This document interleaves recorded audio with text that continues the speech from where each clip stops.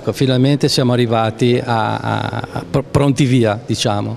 Allora, come dicevi tu, sono 18 alloggi che finalmente daranno una risposta abitativa a persone di Santa Margherita eh, che potranno partecipare tramite il bando, il regolamento, insomma tutto ciò che è l'iter burocratico, però la cosa importante è che finalmente questi 18 alloggi si vanno comunque a, a sommare già a un nostro patrimonio abitativo che per quanto riguarda il comune di Santa Margherita è di 69 alloggi. In più abbiamo gli alloggi dell'arte che sono circa 73, perciò cominciamo a parlare di 160 alloggi già ad oggi, più i 18 che andremo a, a fare in via Dogali eh, perciò cominciamo già a parlare di una, di una cifra che eh, si aggira intorno ai 180 alloggi. In più, come anticipato in conferenza stampa, entro la, la prima metà di, del mese di ottobre consegneremo gli alloggi dell'area brisolese. Sì, sicuramente la fascia produttiva eh, dei giovani di Santa Margherita che va dai 21 ai 35 anni. Come dicevo, mi ripeto, in conferenza stampa prima, sarebbe molto bello vedere ecco, che questi alloggi vengono occupati da fasce giovani e che eh, così almeno avranno la possibilità di vivere a lungo e di diventare effettivamente dei San Margheriti, ce lo auguriamo di cuore.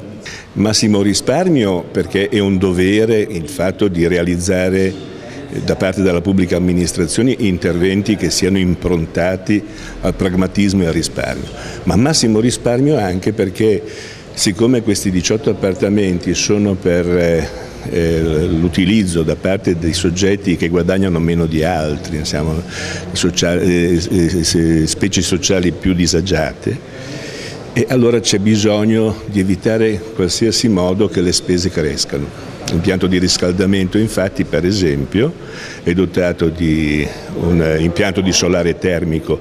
Quindi con la luce del sole riscalderemo l'acqua degli appartamenti per gli usi eh, domestici.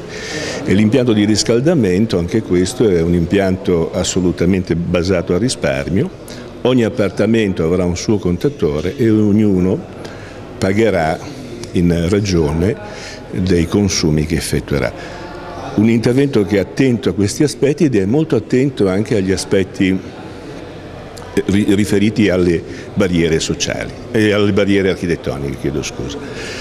È per questo motivo che per una già avviata collaborazione con Antonio Cucco, che è rappresentante locale eh, dei, de, diciamo, dei problemi dei portatori di handicap, abbiamo verificato questo intervento perché sia davvero coerente con le esigenze di tutti. Noi abbiamo fretta di realizzare questi interventi perché questi alloggi vanno per i nostri concittadini. Dunque entro il 10 di ottobre incomincerà già una prima parziale demolizione dei fabbricati esistenti che sono edifici obsolescenti.